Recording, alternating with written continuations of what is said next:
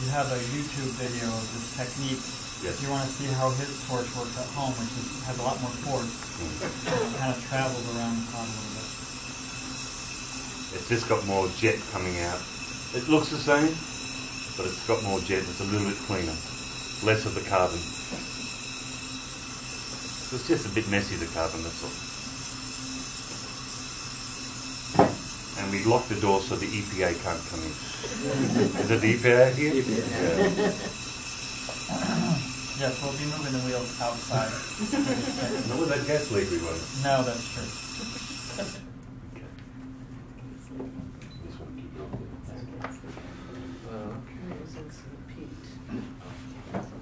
there. You'll find as you flame it, it won't flame perfectly even, so it might get a little bit off center.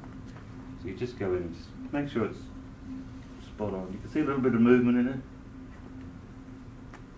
while it's still warm. Just a little bit of tightening. Now that's good. Like I said with the dribbles, load your sponge up slightly. Keep your hand on the inside and let it feed onto your hand so it feeds onto the wall of the pot and not dripping all the way down. You only want it on the top.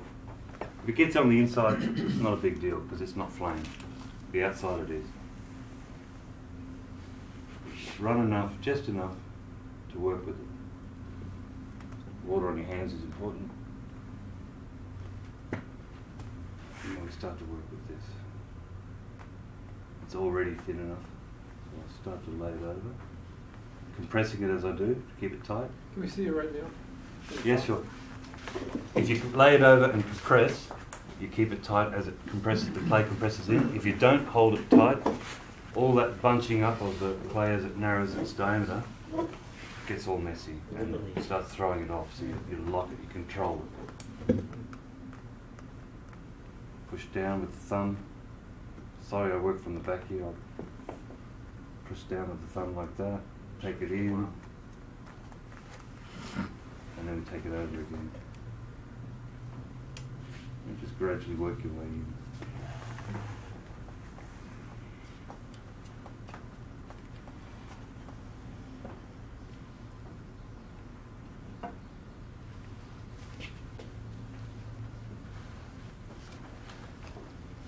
Remembering that if you want to get your hand back in there, don't close it off too far.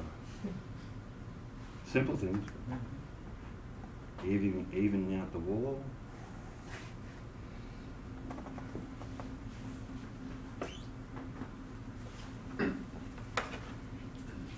Now I like the profile of this one, so I'm going to use that.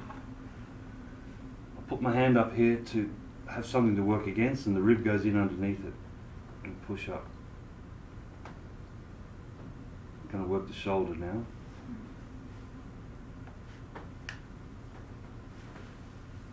I don't run along it, I just push it up in sections. This is probably the trickiest part of the sphere.